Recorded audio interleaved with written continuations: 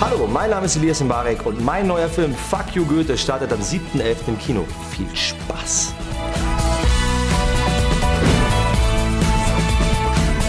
Und der Richter hat angefangen! Schülerin weint.